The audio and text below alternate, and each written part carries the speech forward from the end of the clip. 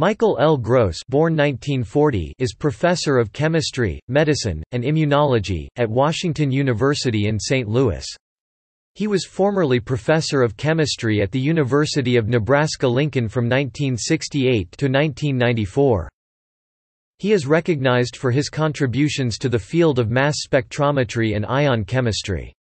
He is credited with the discovery of distonic ions, chemical species containing a radical and an ionic site on different atoms of the same molecule. Working with colleagues at the Environmental Protection Agency, he validated the part per trillion analysis of 2378 tetrachlorodibenzodioxin in biological tissues, perhaps the first validation of an ultra-trace analytical chemistry method.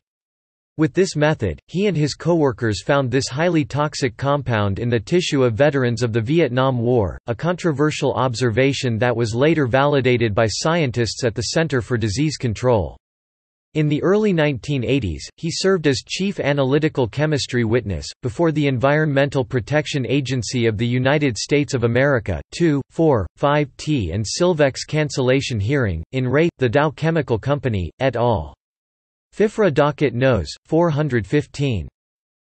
In 1978, he became director of a National Science Foundation Center for Mass Spectrometry at Nebraska.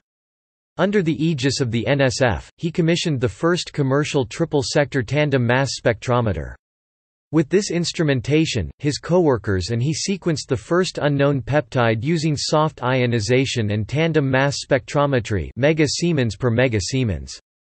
They also discovered a new class of fragmentation of gas phase ions later termed charge remote fragmentation and applied it to a wide variety of compounds including fatty acids, lipids, surfactants, steroids, and peptides. An expanded four-sector version was employed to insert noble gas atoms in C60 and other fullerenes and a second noble gas atom in synthetic fullerenes already containing a noble gas atom. In the late 1970s, Charles Wilkins and he built the second Fourier transform ion cyclotron resonance mass spectrometer and were the first to use it for analytical applications. Notable were the demonstrations of GC per mega Siemens, laser desorption, gas pulsing, multiphoton ionization, and the development of calibration law for accurate mass measurement. More recently, Don Rempel and he described an electrically compensated FTICR trap to improve mass resolving power.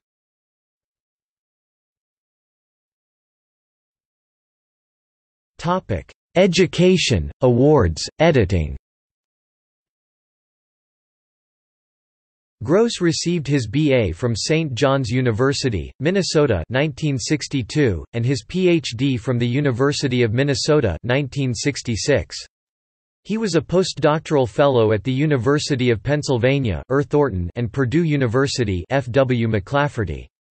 For his research contributions, he received the Field and Franklin Award, American Chemical Society 1999, the Midwest Award, ACS 2002, and the J. J. Thomson Medal, International Foundation for Mass Spectrometry 2006. He is co-editor of the Encyclopedia of Mass Spectrometry and editor-in-chief of the Journal of the American Society for Mass Spectrometry since its founding in 1990. Prior to that appointment, he served as editor of Mass Spectrometry Reviews.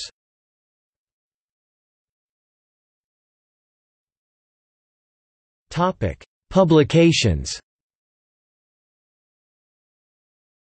Gross has authored and co-authored over 500 papers and book chapters. He was recognized as 50 Most Cited Chemists Institute for Scientific Information, 1984–1991. He was recognized in 2010 as the 356th most cited of living chemists.